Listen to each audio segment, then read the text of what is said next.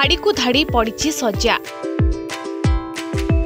ଗୋଟିଏ ଶଯ୍ୟାରୁ ଛତୁ ଅମଳ ହେବା ମାତ୍ରେ ପ୍ରସ୍ତୁତ ହେଉଛି ଆଉ ଏକ ଶଯ୍ୟା।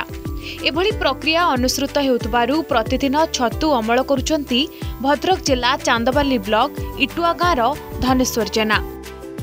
ଧନେଶ୍ୱର ବିଗତ ଚାରି ବର୍ଷ ହେଲା ନିଜ ଘର ନିକଟରେ ଏଭଳି ଛତୁ ଚାଷ ଜରିଆରେ ଆରମ୍ଭ କରିଛନ୍ତି ଜୀବିକାର ଦ୍ୱିତୀୟ ଇନିଂସ। ଚଳିତ ବର୍ଷ ଚତୁର୍ଥ ବର୍ଷ ପାଇଁ ଛତୁ ଚାଷ କରିଛନ୍ତି ଧନେଶ୍ୱର। ଅଶୀ ହଜାର ନଡ଼ା ରଖି ତିରିଶଟି ଶଯ୍ୟାରେ ବୁଣିଛନ୍ତି ବିହନ। ଏଠାରୁ ଦୈନିକ ପନ୍ଦରରୁ କୋଡ଼ିଏ କେଜି ଛତୁ ଅମଳ ହେଉଥିବା ବେଳେ ଆଖପାଖର ଲୋକେ ଘରକୁ ଆସି କିଣି ନେଉଥିବା କୁହନ୍ତି ଧନେଶ୍ୱରଙ୍କ ପତ୍ନୀ ସୁଚିତ୍ରା ଜେନା।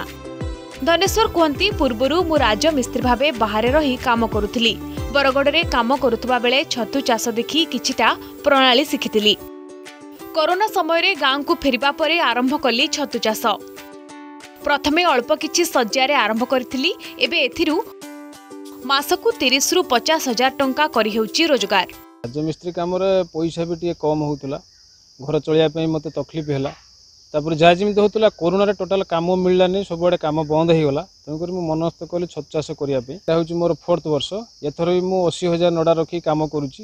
ଦୁଇ ଚାରି ଚାରି ପାଞ୍ଚ ଜଣ ପିଲାଙ୍କୁ ବି ନିଯୁକ୍ତି ଦେଇଛି ମୋତେ କାମରେ ସହଯୋଗ କରିବା ପାଇଁ। ଆଉ ଭଲ ବି ଦୁଇ ପଇସା ରୋଜଗାର ମୁଁ କରିପାରୁଛି। ଆଭେଲେବଲ୍ ଗୋଟେ ତିରିଶ ହଜାରରୁ ପଚାଶ ହଜାର ପର୍ଯ୍ୟନ୍ତ ମୁଁ ରୋଜଗାର କରିପାରୁଛି। ଭଲରେ ବି ଚଳୁଛି। ଆମର ପରିବାର ସମସ୍ତେ ସହଯୋଗ କରୁଛୁ। ଆଉ ମିସ୍ତ୍ରୀ କାମ ଅପେକ୍ଷା ଆମେ ଭଲ ଏ କାମର ଭଲ ଲାଭ ନେଉଛୁ ଖୁସି ରହୁଛୁ। ପନ୍ଦର କିଲୋରୁ ଅଧିକା ହେଉଛି। ବାହାରୁ ବି ଲୋକ ଆସିକି ଘର ପାଖରୁ ବି ଲୋକ ନେଇ ଯାଉଛନ୍ତି ବାହାରୁ ବି ଲୋକ ନେଉଛନ୍ତି ଆସିକି। ଧନେଶ୍ୱର ଆଜି ଜଣେ ସଫଳ ଛତୁ ଚାଷୀ। ଦିନେ ସେ ପ୍ରବାସରେ ରାଜମିସ୍ତ୍ରୀ ଭାବେ କରୁଥିଲେ କାମ। ଆଠ ଘଣ୍ଟା ପରିଶ୍ରମ ବିନିମୟରେ ପାଞ୍ଚଶହ ଟଙ୍କା ମଜୁରୀ ମିଳୁଥିବା ବେଳେ ଆଜି ସେ ଘର ପାଖରେ ଛତୁ ଚାଷ କରି କରିପାରୁଛନ୍ତି ହଜାର ଟଙ୍କାର ରୋଜଗାର। ରାଜମିସ୍ତ୍ରୀ ଭାବେ କଠିନ ଶାରୀରିକ ପରିଶ୍ରମ ଛତୁ ଚାଷ ପାଇଁ ଲୋଡ଼ା ପଡ଼ୁନି। ଘର ପାଖରେ ଛାଇ ଜାଗାରେ ନିଜସ୍ୱ ୟୁନିଟ୍ରୁ ଉତ୍ପାଦନ କରୁଛନ୍ତି ଛତୁ।